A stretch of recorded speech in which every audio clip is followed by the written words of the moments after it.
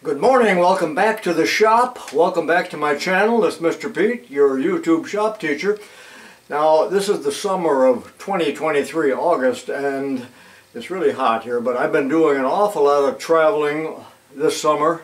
Most of that's behind me. It's worn me out. I can't tell you how, how hard that is on me, but I just got back from a two-day riverboat trip that went from LeClaire, Iowa to Dubuque, Iowa. Now, I've been on that that trip before. It's just awesome because I love the Mississippi River. I love all rivers. I'm a river rat, I guess. And you know, there there is a video coming up on the great uh, Peterson uh, boat ride to Florida. But uh, I don't know when I'll do that because the slides aren't good. The color's all gone. I was really disappointed when I rediscovered them.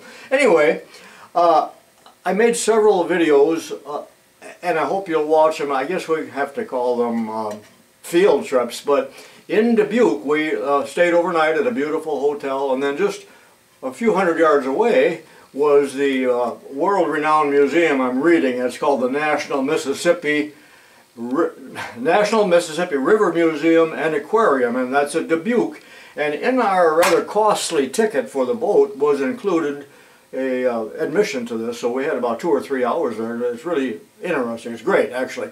So I'll probably divide that up into a couple of videos, but the, the first one here, I'm visiting a recreated machine shop where uh, inboard, outboard, uh, no, they're inboard motors were made, marine engines, because they're right on the river there. And uh, so this machine shop is line shaft driven with all the pulleys and belts, and uh, I always find that fascinating. I had a good talk with the curator. I think I got a couple good shots of that. The audio is not very good. I didn't think it would be. I'm going to buy a microphone for my iPhone. Matter of fact, it's on order from Scamazon right now. It should be here tomorrow, but that's too late. So anyway, the audio was not that great, so I might do some voiceovers if I can figure out how to do that.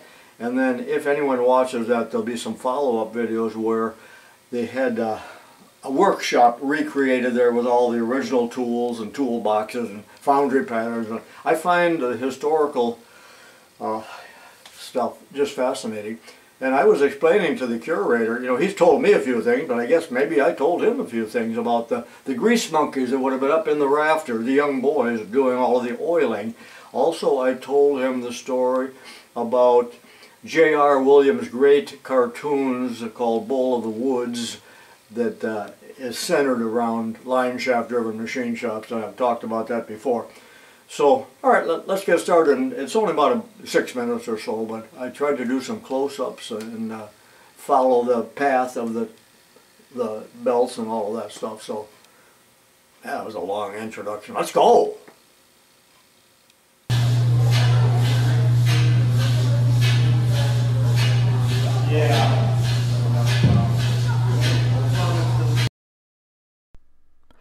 Okay, I'm here at the wonderful exhibit of a line shaft driven machine shop. Notice the little steam engine that is powering it. In a real shop, probably it would have been a much larger engine, possibly even in another building, or an electric motor in later days, and a hand wheel up there for mechanics to rotate that shaft while they're doing setups. Can you visualize a 13 year old boy climbing around in the beams and rafters lubricating these bearings on the shafts that probably needed attention every day? And when the machinist looked up, he would see these boys scrambling around looking like monkeys in the jungle. And that's where the term grease monkey came from. Notice the wooden lever right there that the lathe operator would have shifted over to turn the belt power on to his machine. There were no electric motors.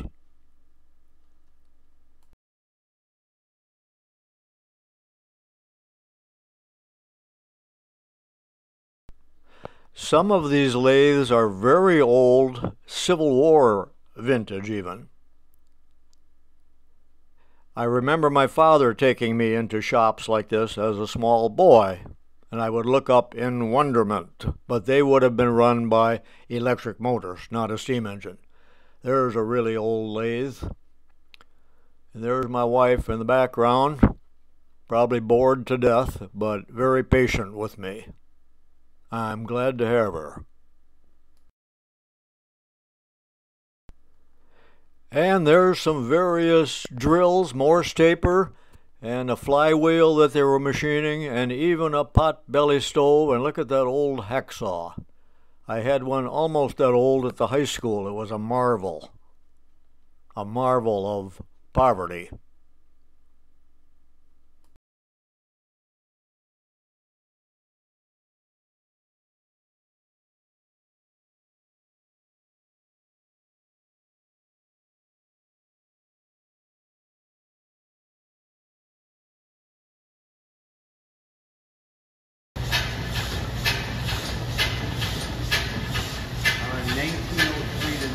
Was that that engine in the display case? Yeah. Yeah, I took a picture of that already. So that's like a um, two-cylinder inboard gasoline combustion engine. And there were two series, two series of them. The, uh, the Iowa, the Common, and the This is the only lathe in the shop that has guards, and he was explaining that even 100 years ago they were concerned about safety, and this is one of the very first machines to use guards. Would you uh, throw that lever again so I can show what's happening there? And this one above here is the interlocking uh, uh, engagement. This over here is more like a slide engagement. I failed to ask him, but I believe that engine is being run by compressed air. It probably would have been pretty noisy in there with all the machines running and the belts slapping.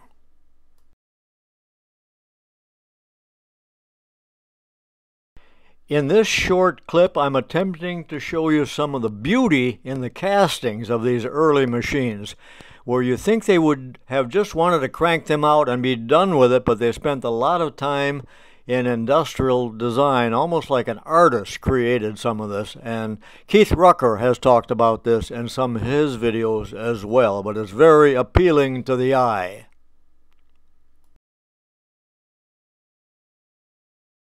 When I was a teenager in machine shop class, we had two planers like this, about this size. They weren't this old or highly ornamented, but I did love operating them, although it was a bit scary for a 16 year old. But look at, again, the beauty of the casting.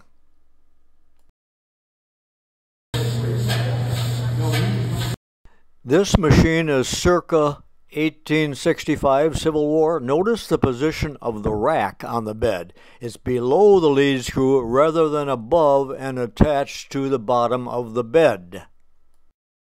Now there may be a follow-up video to this, as I said earlier, so watch for future videos. And I've just been making a lot of videos. There's at least 20 in the can that are unpublished at this time, but I'm going back to it with a vengeance in September and October as the weather moderates around here in northern Illinois.